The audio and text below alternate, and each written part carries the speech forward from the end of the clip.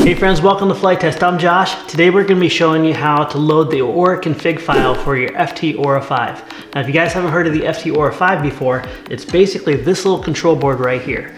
Now the cool thing about this is you don't need any computer at all to be able to get a lot of the benefits out of this board. But if you really want to push the limits on what it can do and also get cool features like custom configuration for differential thrust, some mixes, some tunes, some advanced settings, you will need something called the Aura config tool. Now the nice thing about this is we not only are going to show you how to do this in the video, but we're also going to lead you through what's on our landing page for the FT Aura 5. Keep in mind if you have any kind of virus protection or firewalls, you may have to turn those off. And also if you're using Windows XP or Windows 10, you're gonna have to kind of force this and say load anyway, load anyway, because the different firewall blockers and different protection devices on your computer may tell you not to do that. But we're gonna walk you through that. So the first thing we're gonna do is we're gonna go to flitetest.com slash FTAura5 and there's our landing page.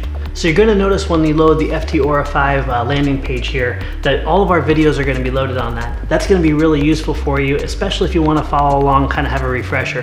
But along with that, we will also have written content for you to be able to follow along, just like our driver tool here. So I'm gonna go ahead and scroll down past the, uh, the videos, and I'm gonna go to where it says configuration. Now the first step we're gonna be doing is download the configuration file, and you're gonna see the link right there. So click on this download link, we're gonna do that. Boom. She's downloading right now. This is gonna take a little while depending on how fast your internet's uh, going. Ours is downloaded now, and we're gonna go ahead and open it up. At this point, it's giving us a little warning window saying that the, uh, the publisher couldn't be verified and asking us if we wanna continue. We're gonna go ahead and hit run.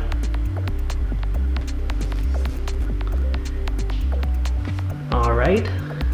Again, this is popping up another window saying, you know, Windows Defender is wondering if we still wanna run this. We're gonna go ahead and hit install. There we go. Again, it's popping up a window saying it can't be verified. Do we wanna run? We're gonna say yes. And we're good. Now at this point, our config tool is opened up and it's also gonna give us the option saying, do you wanna load the drivers? It's really important that you say yes, you do, and load those drivers. So we're gonna go ahead and hit yes. And it says Aura has detected you're using a Windows 8 or newer. Is that correct? We're gonna hit yes. And now we're gonna get a message saying that they found the drivers and it's gonna ask us if we wanna install the required drivers and of course we're gonna say yes. Now a new window is gonna pop up here that's just gonna be your installation wizard for your drivers and we're gonna go ahead and hit next through those. It's gonna give us our location file, I'm happy with that. We'll hit finish and we're now getting a follow-up message saying that all the drivers are now installed. At this point, let's go ahead and take our Aura board and we'll plug in our USB cord. Now you're gonna notice that we're getting a solid blue light. That's a good sign. That means that the board's getting power. Our next step is to hit the connect button. And there we have it.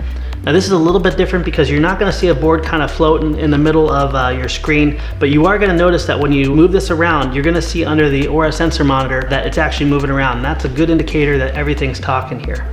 And we're also getting a message right now saying we've successfully connected to the Aura port. So I'm gonna go ahead and hit okay.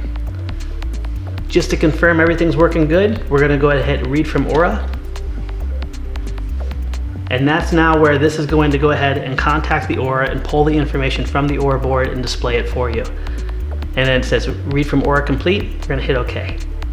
At this point, our Aura config tool is successfully on our computer and is connected to our control board and talking successfully. Now we're ready to use a lot of these really great features like our Aura configuration wizard, but that's for another video. Friends, I want to thank you for watching. Thank you so much for being part of the Flite Test family. Please feel free to check out the additional videos on this, and we'll see you next time.